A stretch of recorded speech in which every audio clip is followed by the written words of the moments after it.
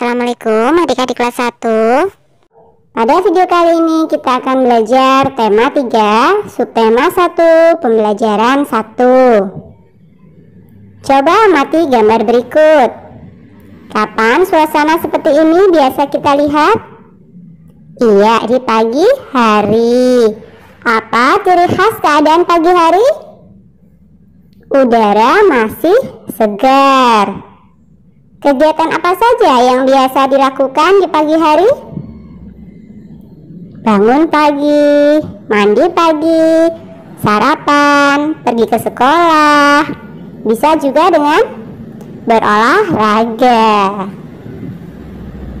Coba simak cerita berikut. Ayam berkokok di pagi hari. Udin terbangun dari tidurnya. Dia berdoa tanda bersyukur. Udin segera mandi dan mengenakan seragam. Setelah rapi, Udin sarapan. Selesai sarapan, Udin pergi ke sekolah. Udin berpamitan kepada ayah ibu. Udin pergi dengan gembira. Saat libur, Udin membaca buku di rumah. Udin membaca ditemani ayah. Udin membaca kata-kata yang baru dipelajari. Ayah membantu Udin berlatih membaca.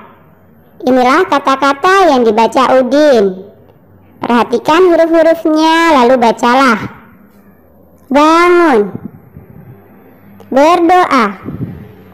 Matahari. Terbit. Ayam. Tidur sekolah, mandi, sarapan, berkokok. Kata-kata itu berhubungan dengan keadaan dan kegiatan pagi hari. Sekarang lihatlah kata-kata berikut. Ada beberapa huruf yang hilang. Tentukan huruf yang tepat pada kata-kata berikut.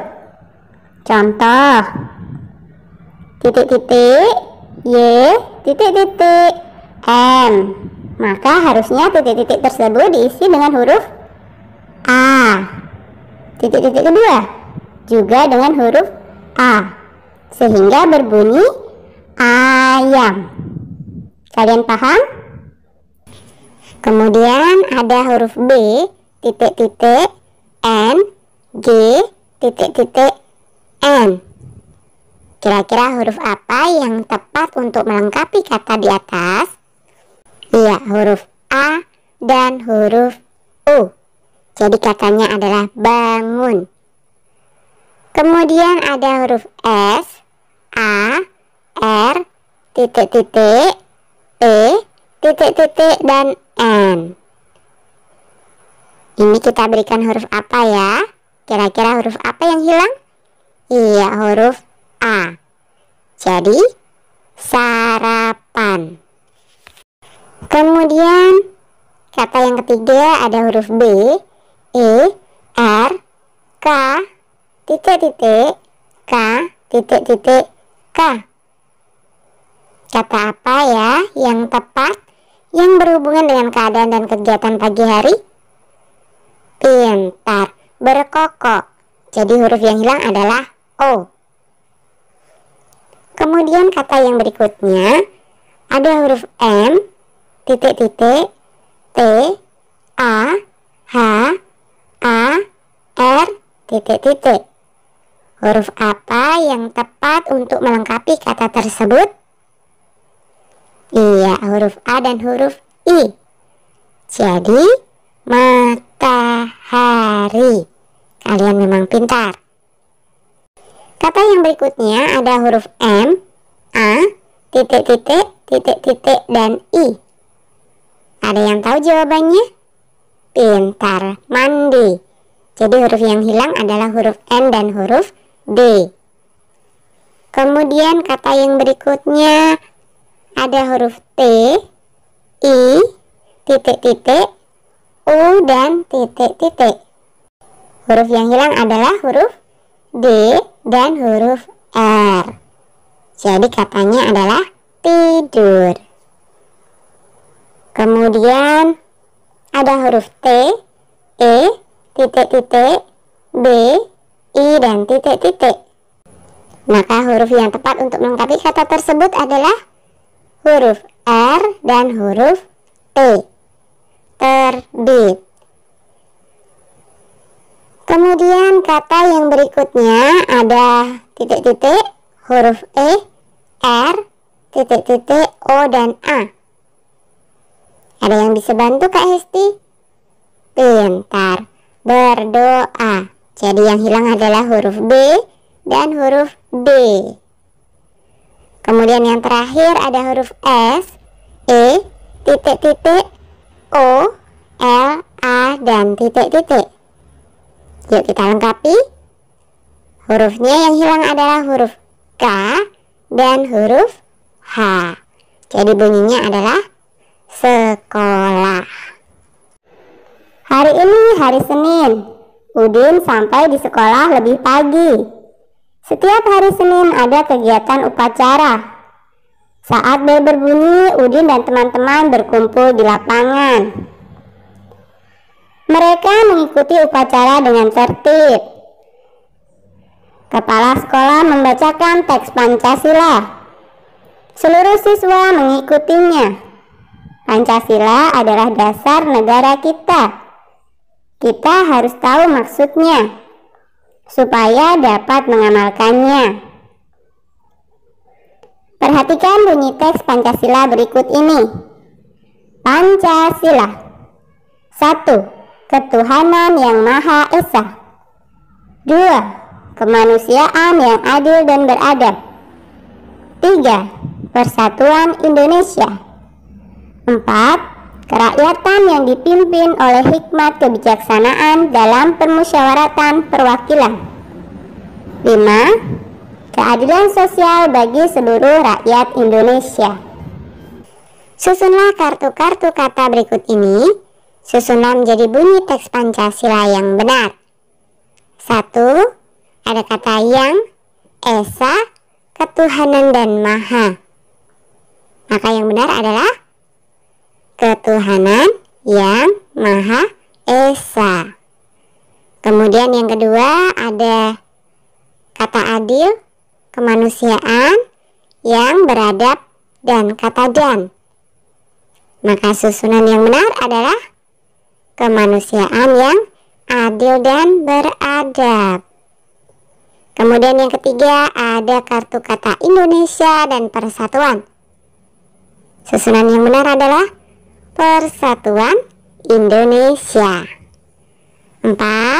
Ada kata kerakyatan oleh yang dalam kebijaksanaan dipimpin permusyawaratan perwakilan dan kata hikmat. Kita susun sesuai dengan sila yang keempat. Kerakyatan yang dipimpin oleh hikmat kebijaksanaan dalam permusyawaratan perwakilan. Kemudian yang terakhir, ada kata keadilan seluruh sosial rakyat Indonesia dan kata bagi. Maka susunan yang benar sesuai dengan bunyi sila kelima Pancasila adalah keadilan sosial bagi seluruh rakyat Indonesia. Nah, sekarang kalian sudah tahu bunyi sila Pancasila. Pancasila adalah dasar negara kita. Kita harus mengamalkan Pancasila. Pancasila adalah pemersatu bangsa. Mengamalkan Pancasila merupakan tanda syukur. Pagi hari kita harus semangat Salah satu caranya adalah bernyanyi. Mari nyanyikan lagu berikut. lagu Bangun Tidur ciptaan Pak Kasur. Tapi sebelumnya, perhatikan panjang pendek bunyi pada lagu tersebut. Tanda titik untuk bunyi pendek dan tanda garis untuk bunyi panjang. Gunakan alat untuk membedakan panjang pendeknya. Contohnya bunyi fluid, marakas, atau tamborin. Oke, kalian siap untuk bernyanyi? Yuk kita nyanyikan bersama-sama.